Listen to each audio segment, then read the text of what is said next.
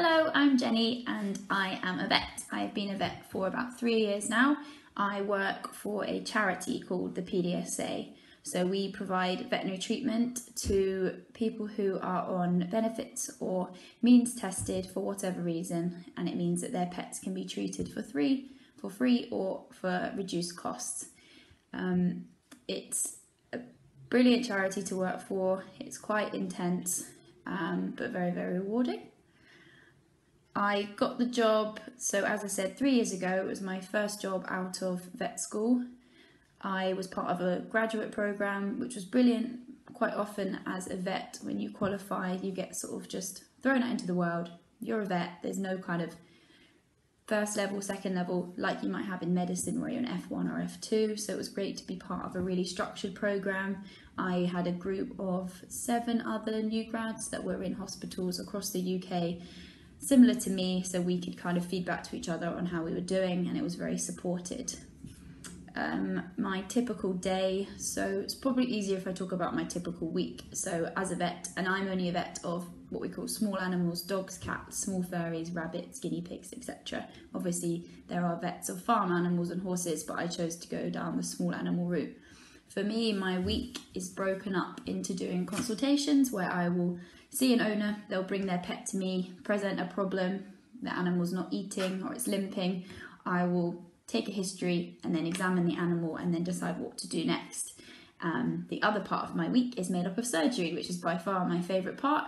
Um, really hands on, and the surgeries can range from things that we book in deliberately, so animals coming in for neutering, um, things like lump removals, etc. I won't go into too many details because I don't know how much people, how squeamish people are. Um, so there's the routine booked in surgeries and then there's surgeries that are emergencies. So this might be animals that are struggling to give birth or probably most interesting are when animals have eaten things that they shouldn't and I have to go in and remove them. This can range from corn on the cobs, um, socks.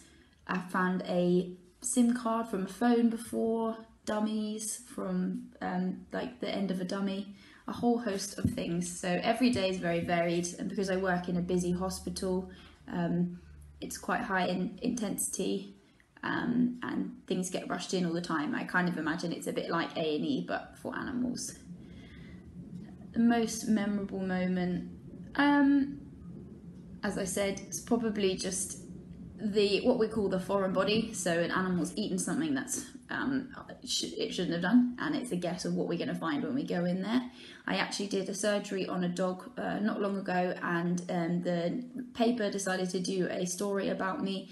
This was during the beginning of the pandemic, where um, obviously veterinary charity or vets all had to sort of change how they were seeing people and because we're a charity and we work purely on donations made by owners and the general public um, we were really struggling to get the funds that we need to keep going. So the team at the PR um, for my company asked if I would send in a story. So we did that one and it got put in the paper, which was nice. So that was definitely um, memorable for me. Um, was planning to run the London Marathon for the PDSA as well. That's obviously been postponed, but that's been uh, lots of fun going out and spreading the good work of, of who I um, who I'm a vet for the worst part of my job. So I do obviously have to deal with quite a lot of sadness. Um, it's different in human medicine. Obviously, with humans, you do everything you can to make sure that people survive. That's quite different with animals. Obviously, there's a question of ethics and welfare and its quality of life. And sometimes, unfortunately, that does mean I have to put animals to sleep. Now, you could think that would be the hardest part.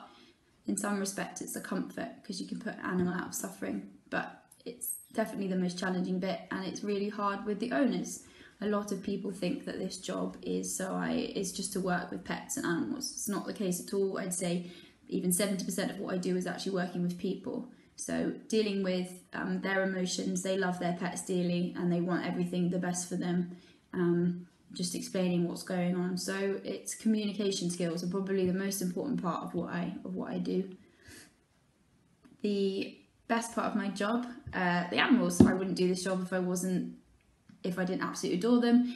I'm regularly at work if I'm finding the day quite hard. Someone will find me probably in the kennels cuddling a kitten or a dog or something just to remind me why I'm doing this because it can be quite overwhelming.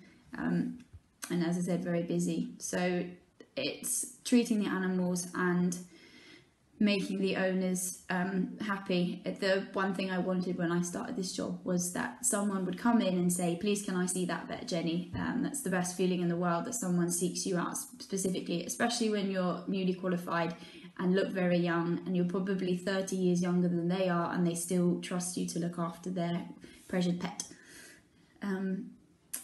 Key skills needed for anyone wanting to be a vet. So, as I said, communication absolutely first and foremost. You've got to deal with a lot of different people where their emotions are all over the place, including colleagues in big teams. So, teamwork is um, always one up there, as with any profession. Academically, you do have to um, do sciences at school. When I applied, it was biology and chemistry A level. Things may have changed um, a little bit, but I imagine that those are still very important.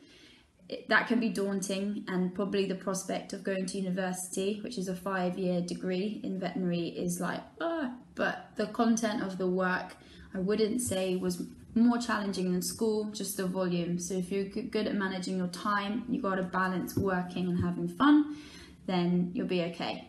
Um, I also, piece of advice if you're not sure what you want to do, do not worry. Life is long and we can change our mind